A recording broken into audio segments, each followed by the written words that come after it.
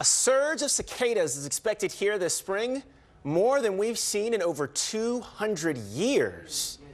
Two groups of the insects called the Great Southern Brood and the Northern Illinois Brood emerged at the same time in late April. Scientists tell us 16 states in the Midwest and Southeast will be buzzing with about a trillion cicadas. Holy moly. It's a rare event that will last about six weeks.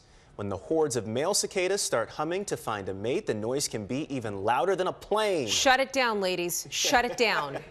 uh, this dual surge won't happen again for another 221 years. I have a core memory about cicadas. Yeah? I was a kid. Mm -hmm. I was mm-hmm. probably like seven, and my family was camping, and like all, how many of us were there? Six of us uh -huh. were in uh-huh. one tent and I woke up in the middle of the night and something was crawling on my neck. Ooh. And I just remember grabbing it and throwing it across the tent and freaking out and never sleeping again.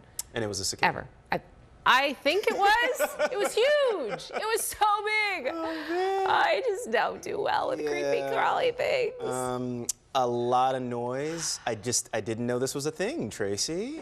So think of it as a big family reunion. Oh. They're all. Oh, I don't want to go to together. that one either. I know. I know. I don't want to be invited to this family reunion. Um, I'm actually worried about them covering the ground and my dogs eating them.